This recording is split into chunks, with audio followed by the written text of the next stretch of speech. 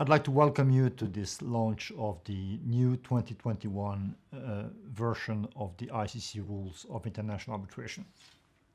2021 is a special year. It is the last year of my presidency as president of the ICC Court of International Arbitration.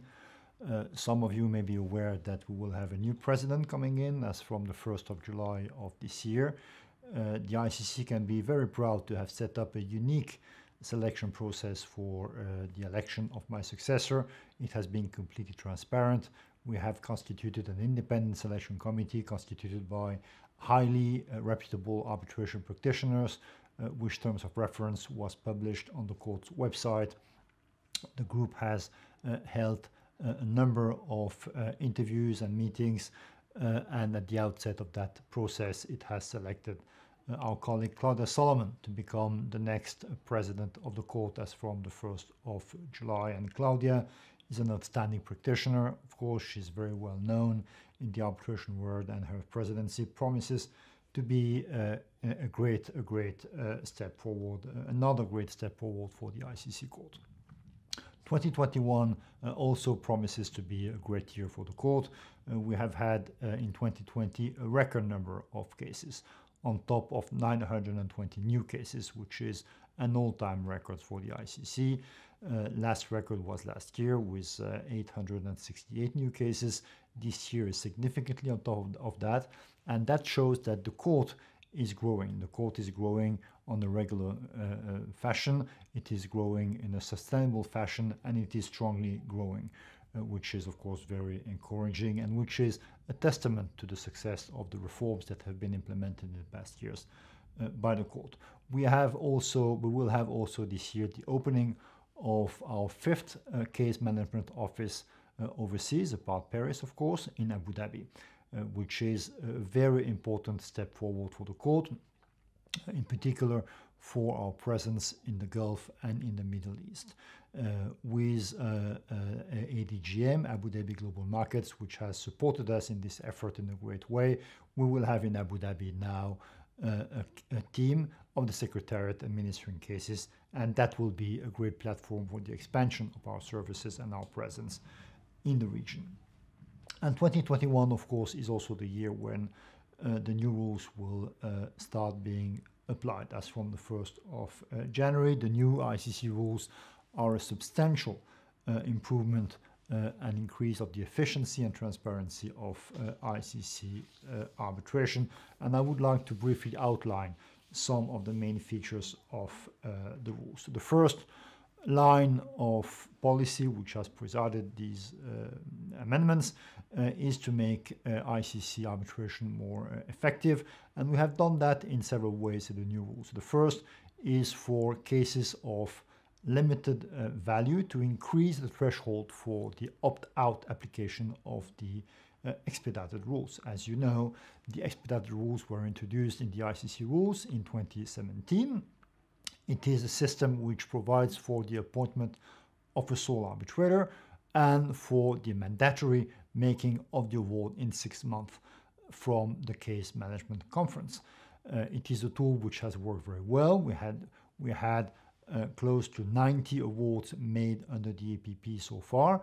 Uh, all of them, save in limited exceptions, have been made within the time limits. So the system proves that it works very well and it offers to users and to parties the possibility of obtaining an award in a much shorter time limit and with reduced cost. And this is why, based on the experience, based on the success of the expedited rules so far, we have decided to expand the scope of application of this uh, procedural uh, tool by increasing the threshold for its opt-out application from 2 to 3 uh, millions as from the 1st of January of 2021. Of course, the expedited rules do not apply retroactively, and that means that uh, the new threshold, 3 million, as was the case for the 2 million thresholds in 2017, only applies to arbitrations introduced after the entry into force of the new rules, which is the 1st of January of 2021 based on arbitration agreements that post-date uh, the entry into force of the new rules, i.e.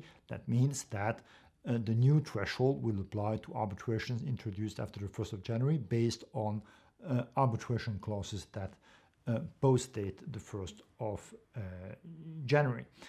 Um, I am sure that uh, uh, this will contribute to making ICC arbitration uh, even more effective for, for these cases of limited value. We have also introduced in the rules a number of new procedural devices which are particularly adapted for uh, large, complex, multi-party, multi-contract arbitrations. We have introduced a new provision for uh, the joinder of an additional party, in particular after uh, the uh, appointment uh, of the arbitral tribunal, which was not provided in the previous versions of the rules. So the tribunal can now decide to join an additional party, provided that this additional party consents to the constitution of the arbitral tribunal and whenever there is one to the terms of uh, reference. We have also uh, amended Article 10 on consolidation in a way which makes it more flexible. Uh, we are now in particular allowing consolidations of cases between different parties when all claims are made uh, based on the same arbitration agreements. And that will uh, provide for uh, additional flexibility in the management of uh, large uh, multi-contract cases. The second line of policy was to provide for greater transparency. Transparency has been a very important line of policy for the court uh, uh, since I took the presidency in 2015. Uh, we have introduced a number of important uh, reforms in this regard, uh, starting with the provision of reasons, starting with uh, the publication of the composition of all ICC tribunals on our, on our website. We are now proceeding on, the, on that same line by introducing in the rules a requirement for the parties to disclose the uh, existence and identity of any third-party funder uh, that intervenes uh, in the case. Uh, that is done in order to allow uh, arbitrators to uh, um, to make disclosures if disclosures are to be made. So this new provision is aimed at assisting arbitrators in fulfilling their duty to disclose. Of course, as you all know, third-party funding is a phenomenon that is growing in arbitration.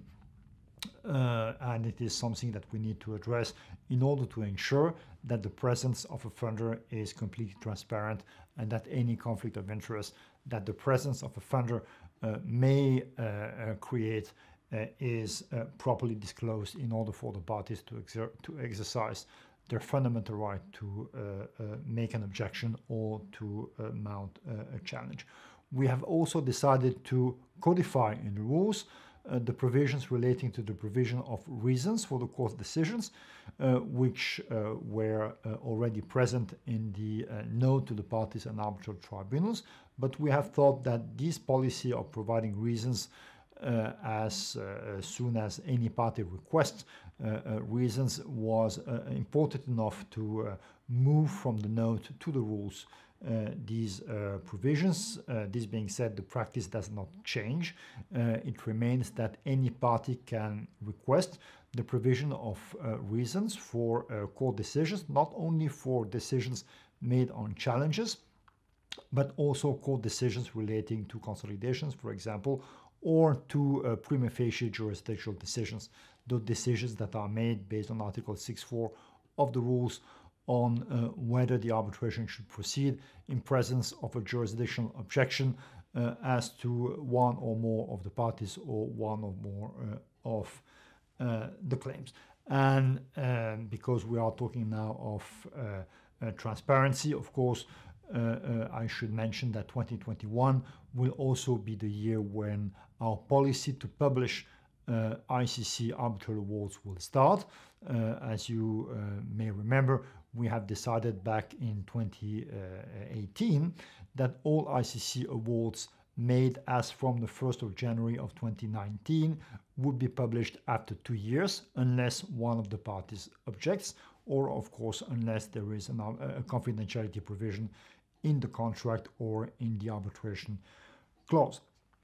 Uh, we have postponed by three months uh, the start of this uh, program of publication because of technical reasons, but it will start on the 1st of April of this year, and we will start publishing on the 1st of April a bunch of uh, awards made in January 2019 in respect of which none of the parties has made an objection to uh, publication.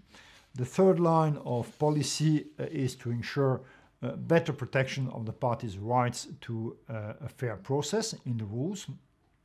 And we have done that, first of all, by introducing a new provision concerning uh, the introduction of a new party representative in the course of the uh, arbitration. That new provision says that essentially, whenever a party introduces a new uh, representative in the case, in the course of the arbitration, if uh, that new representative generates a conflict of interest with one or more of the arbitrators, then the tribunal can decide to take measures in order to exclude that new party representative from all or part of the arbitration in order to uh, preserve the integrity of the uh, arbitration.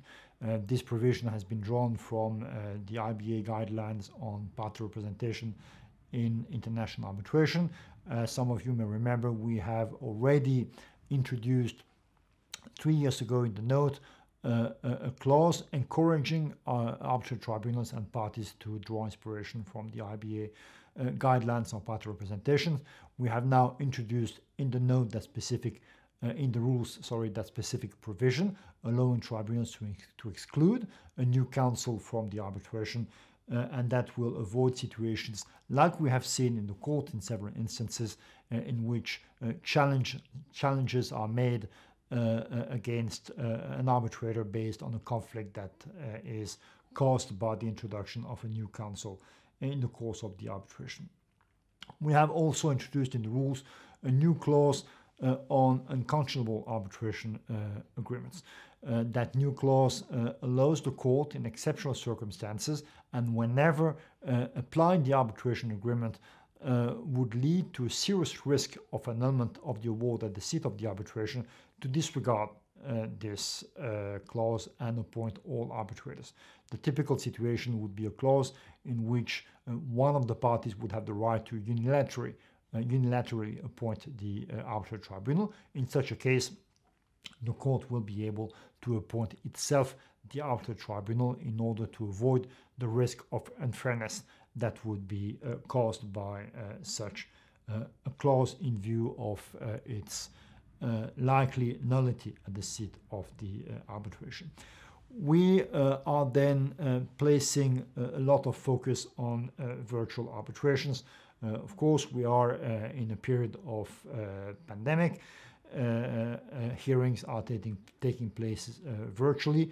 Uh, and we have felt that there was need to introduce more clarity in the rules as to the powers of the arbitral tribunal to order to decide in absence of an agreement by all parties that the hearing uh, may take place by uh, remote means of of communication, such as video conferences.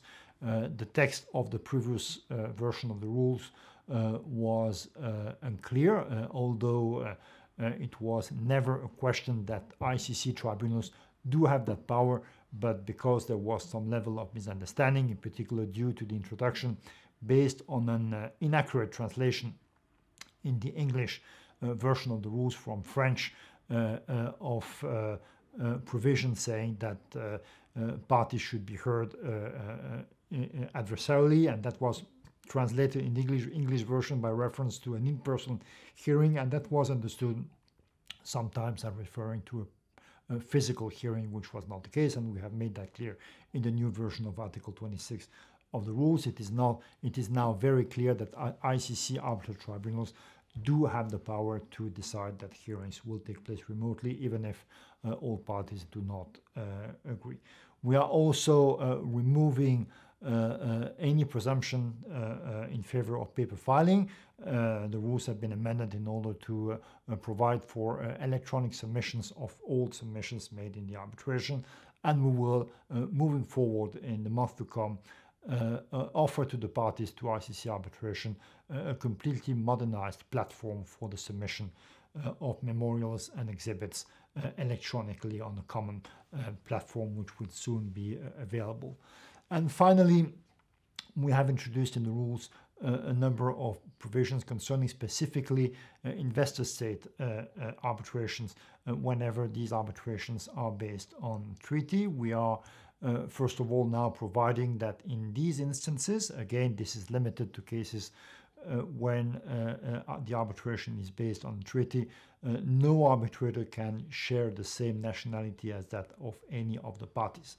Uh, and this is, of course, um, based on and justified by the specific nature of these arbitrations, where arbitral tribunals uh, may have to cast a judgment on the legitimacy of uh, legislation or regulation that is made by the state uh, in the general uh, interest.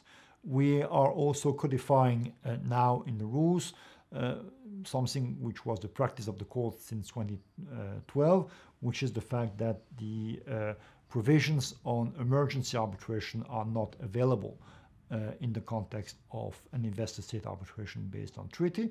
That has been the case since 2012, but it was not expressed as such uh, in the rules. And for the sake of transparency, we have wanted to uh, introduce clarity uh, on this. And we uh, are now also in note, in the new version of the note, which has been published as well and which is now available uh, on the court's website. We are now providing that arbitrators should uh, in ISDS cases based on treaty include in their CV and make a CV available to the parties in which uh, the parties can see all uh, past uh, ISDS treaty-based cases in which an arbitrator has participated as counsel, as arbitrator, or as expert. And this is, of course, again, provided in order to allow the parties to uh, verified that there is no, uh, in particular, issue conflict uh, question with any of the arbitrators, and again, for the sake of more clarity. So overall, this is a set of uh, limited changes to the rules, but changes which will contribute to making the ICC rules uh, more efficient, more transparent, and to better protect uh, the parties' right to a completely fair process in ICC arbitration. Thank you very much.